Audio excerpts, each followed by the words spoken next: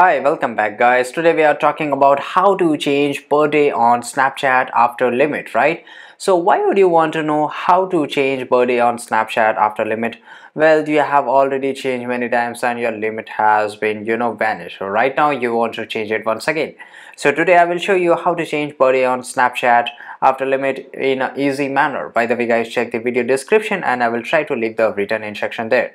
So the very first thing we have to do, we have to just go into the Snapchat mobile application here and here we will give all the required, you know, permissions and after that we have to click on our profile icon which is on top left side corner right? So click on here and after that just click on the setting icon which is on top right side corner.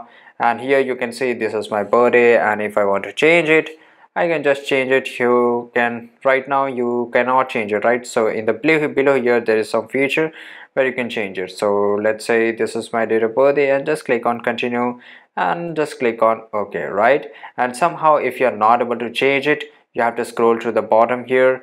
And after that you have to find option that says that I have a help center right? So basically you can just find it.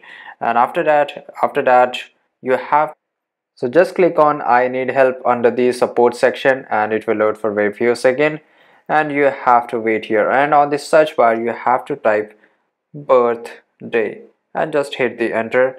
And after that you will just after that you can see how to say set or change my birthday on Snapchat. So just click on the first option and it will and it will show you how to do it.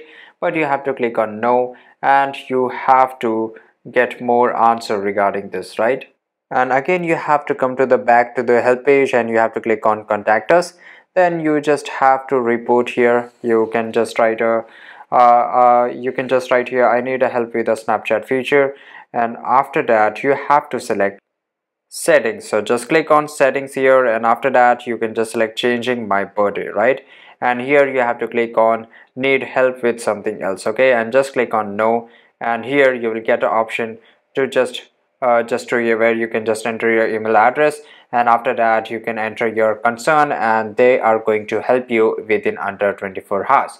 So there you go guys. If you want to know how to change per day on snapchat after limit this is the easiest way i know how. If you know any another way how to change per day on snapchat after limit leave a comment below. Be sure to subscribe for more videos. Thank you for watching. Goodbye